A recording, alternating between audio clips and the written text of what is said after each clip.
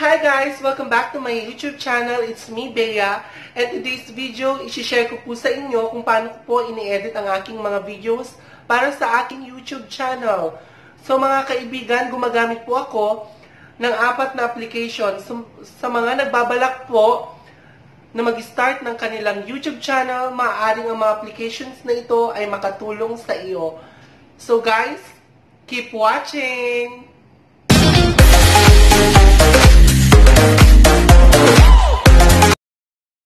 So, ang una niyo pong gagawin is mag-download ng mga applications na gagamitin po ninyo.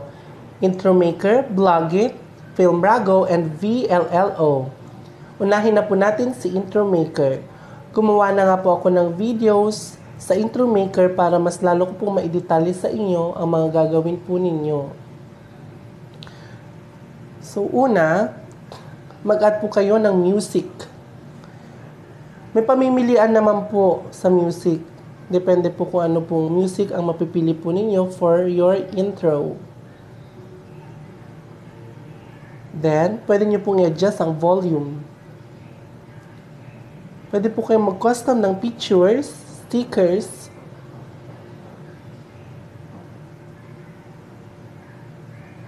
Pwede rin po kayong mag-add ng animation.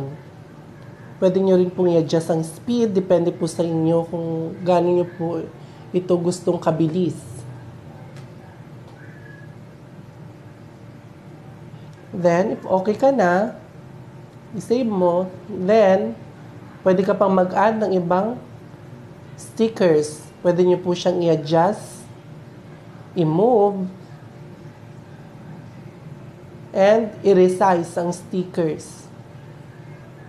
So, wag po kayong matakot na mag-save ng mag-save ng stickers kasi pwede nyo po siyang i-adjust or pwede nyo po siyang pagsunod-sunurin. Depende po sa inyo kung paano po ang ayos na gagawin po ninyo. Then, pwede ka rin pong mag-type ng inyong title. May fonts din po. Depende sa laki kung anong gusto mo. May colors. And syempre, animations po. Fonts. Animations, kung paano nyo po gusto gawin ang inyong intro maker. Ayan. So, i-play lang po natin.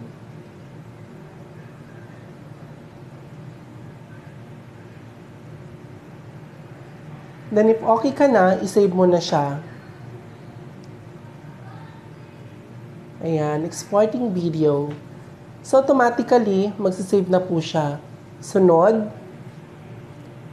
ang Filmrago.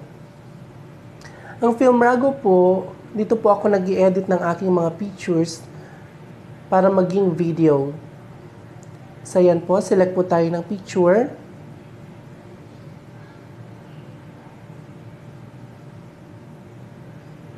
Yan. Kapag nakaselect ka na, pwede mong i-crop, i-edit. Depende sa'yo. Meron po siyang text, filters, voice over. Yan, mga filters niya po.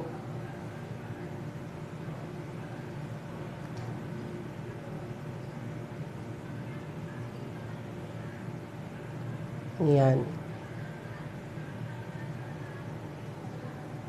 And kung gusto mo mag-add ng text, pwede rin po. So marami po kayong pamimilian. May mga effects. Yan, tulad po yan, puso-puso, ganarn. Meron na po siyang themes din. If gusto po ninyo, hindi na kayo mahirapan, select lang ng photos, then siya na bahala mag-edit. Gaya po niyan.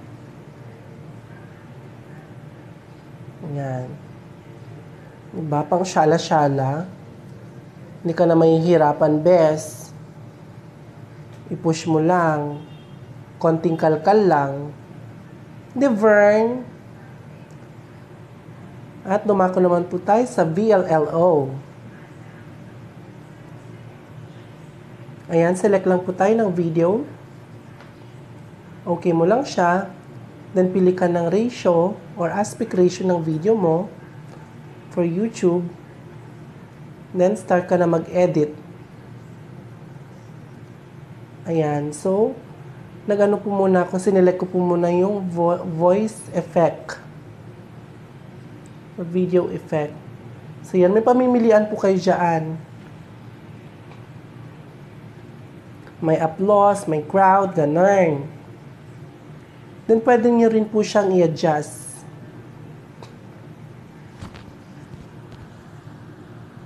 Ayan. Depende po sa inyo kung gaano po kahaba ang gagawin nyo. Kung saan nyo po pwesto yung effect. Kung gaano po siya kahaba. Then, pwede po kayo ulit mag-add ng effect. So, pwede nyo po siyang i-move. Nagaya po niyan. Then, again, iset nyo lang po kung gaano kahaba ang gagawin yung effect. Video effect. So, yan na nga po. Finalize lang po natin. Ayan, uh, nagbangsi ko na na. Pangot na ni Miss Thea. Ganun.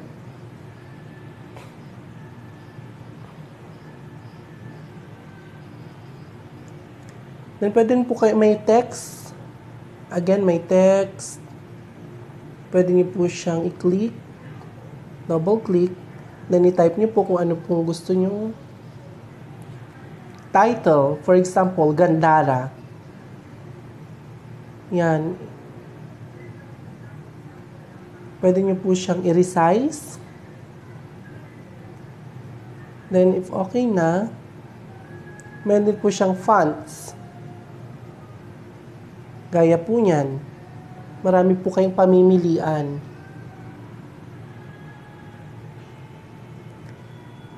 Iset nyo rin po yung length ng yung text kung hanggang saan nyo po gustong lumabas ang text na inyong ginawa.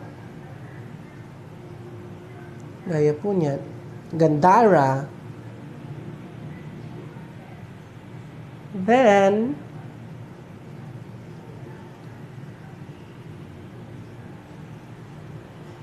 If okay ka na, na-preview mo na,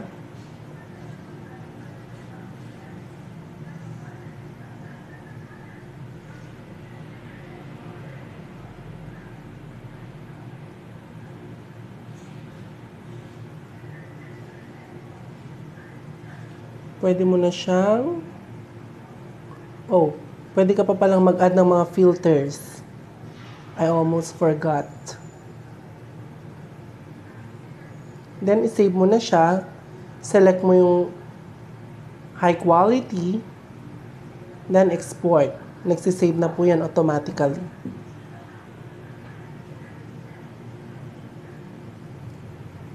Then, vlog it. Lastly, blog it.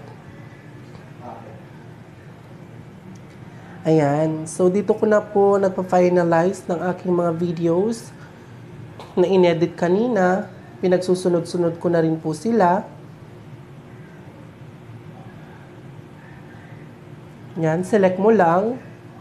Then, click mo yung red button. Pwede kang mag-trim ng videos. Gaya po niyan. Then, if okay ka na sa haba, click mo lang or check mo lang. Ayan, yung mga videos na ginawa po natin. So, yan. I-adjust mo lang kung gusto mo siyang i-trim yung videos mo. And also, pwede mo siyang i-rotate. Gaya po niyan.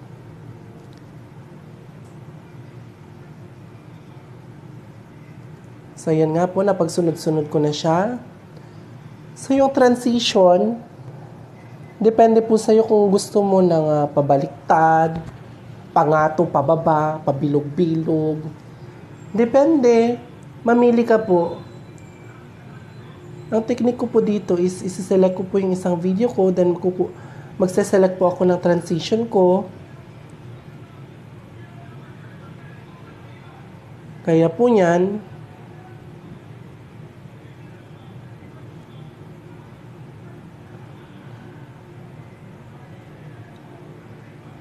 Pwede mong i-adjust lahat. The saturations, even the speeds. Gaya po niyan. May voice over din po, tulad po nitong ginagawa ko ngayon. Bino-voice over ko lang po. Yan. Then if okay ka na, at finished product, at maganda na ang iyong presentation, pwede mo na siyang i-save. Yan. So, exporting video. Antayin nyo lang po na matapos siyang mag-export. So, dito na po nagtatapos po ang later. video for today. Sana nga po ay makatulong ang po. mga applications na ito para sa inyong YouTube channel. Bye guys!